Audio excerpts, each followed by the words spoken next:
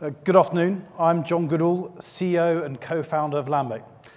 Landbay is a peer-to-peer platform focused, focused solely on residential buy-to-let mortgages. Today, I'm going to talk about the financial crisis and what we as a sector can learn from it.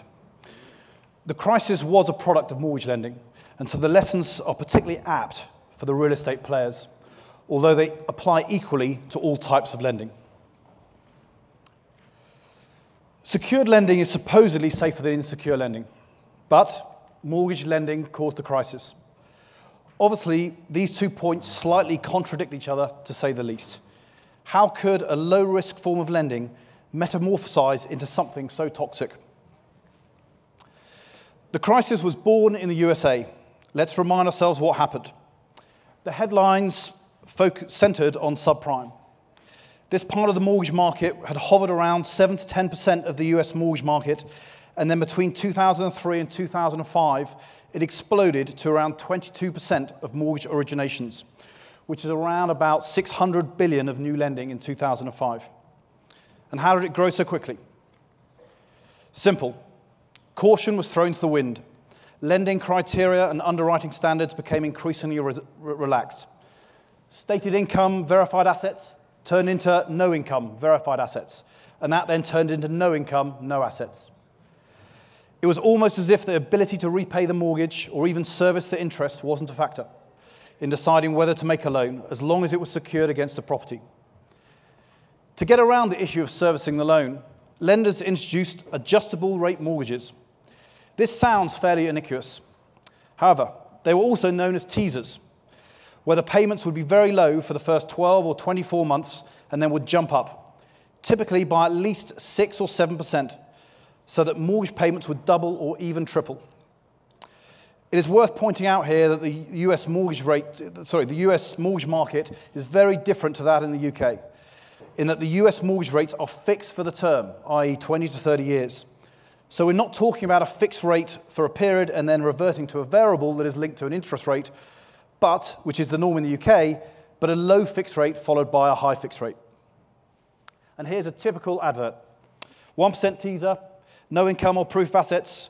Not only can you get 100% LTV, but you can throw in your credit card debt too.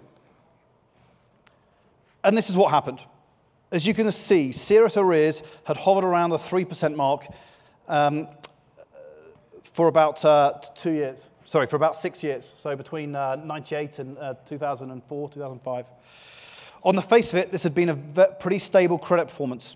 Remember, this is secured lending, and so defaults don't necessarily equal losses. Therefore, the risk weighted return on this asset class, where rates were typically 9 to 12%, were pretty strong. And then in 2007, something happened. The rate of delinquencies had risen to about 15% over a two year period.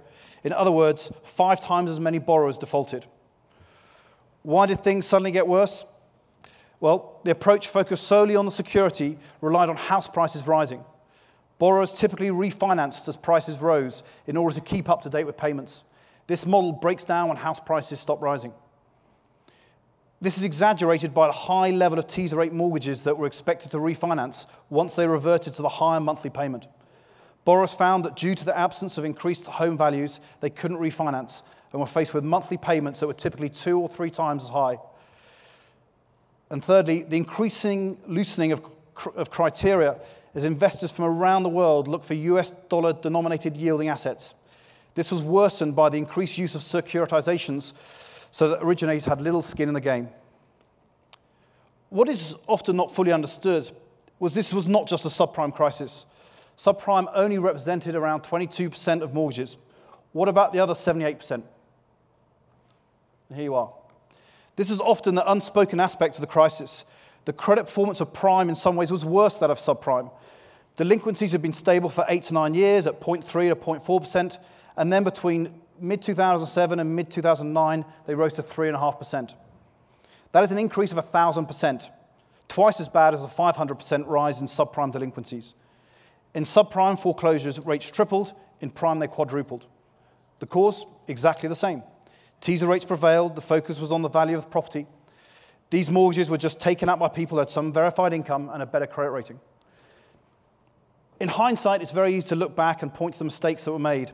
However, in 2005 and 2006, mortgages, both prime and subprime, had a very predictable history of credit performance, and the data seemed convincing. Bear in mind, during this time, the US had been through the dot com bubble and burst, the attacks of September 11th, and considerable changes in interest rate. Despite this, house price growth and the performance of mortgages, prime and subprime, have been relatively consistent and therefore predictable in many people's eyes. As is well documented, the credit rating agencies also took this view. And behind all this, what people could not see was just how much underwriting standards were dropping. They were increasingly automated. And in 2005, despite house prices still rising 10% and unemployment falling significantly, 16% of subprime mortgages missed a payment within the first 12 months. This was far worse than the performance of 2004 originations, which were worse than 2003. In 2006, they got even worse. The huge demand for supposedly low risk dollar denominated assets was causing lenders to materially lower standards in order to be able to meet demand. The sole focus was on the value of the security, and the view was that any potential losses would be mitigated by the asset that the loan was secured on. How the loan was serviced was hardly even a consideration. In the UK, subprime hardly existed, but even so, an obsession with the security and a view that real estate prices would not fall drove lending decisions. In the UK, house prices held up pretty well. That's the red line. Residential prices fell about 18% on average, while commercial fell by about 40%. This hides significant divergence between different types of properties and locations. Buy to let mortgages have been one of the best performing types of mortgages, and 12 years out of the last 15, buy to let mortgage arrears had been lower than those of, of owner occupied. During the last five years, as tenant rental arrears increased, and then peaked, peaked uh, in 2012, and that's the blue chart. The actual mortgage arrears of landlords fell by about 60%. This is because typically buy-to-let lending is less automated and more focused on the serviceability of the mortgage rather than security. Buy-to-let mortgages have been supported with resilient cash flows. You can just make out the credit crisis on this graph as average rents fell by about 1 or 2%. But the clear trend over the last 20 years is for rents to rise by 2.5% a year in contrast, average commercial rents fell by about 15%, peak to trough, during the crisis. So, what can we learn from the crisis?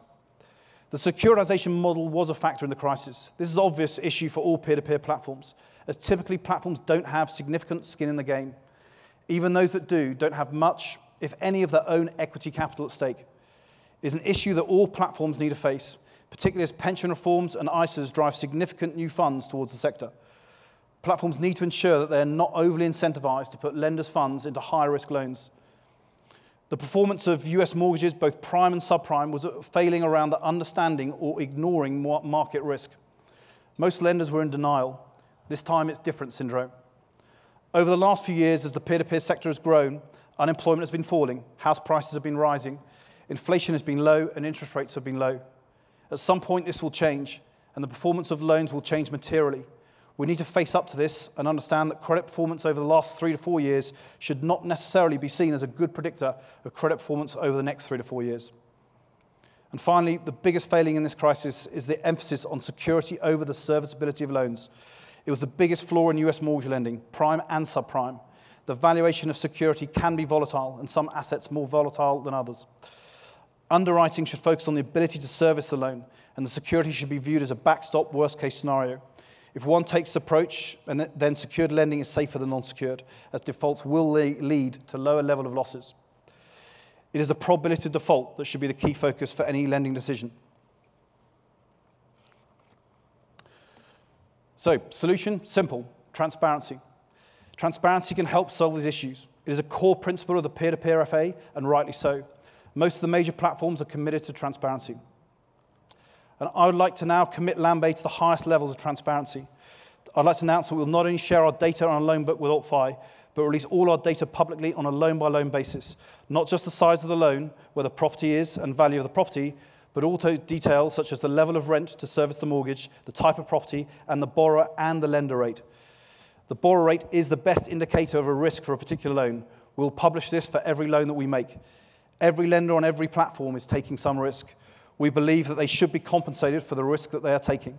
We'll therefore publish the lender rates alongside the borrower rates for every loan so that lenders can see that they're getting the lion's shares of interest and thus compensated for the risk that they are taking.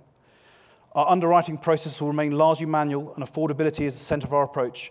Our published levels of rent and therefore rental coverage for every property that we lend against will support this. Market risk is potentially the elephant in the room for the sector. We conducted a stress test in December and will continue to do so on a regular basis. These will be done independently into Bank of England criteria, and they'll be published on our site and also released to AltFi. Over 2015 and 2016, the sector is predicted to grow to a level that couldn't have been envisaged even 18 months ago. The potential for growth is huge. For the sector to be viable and significant in the long term, we must learn from the errors in the years preceding the crisis. Thank you very much.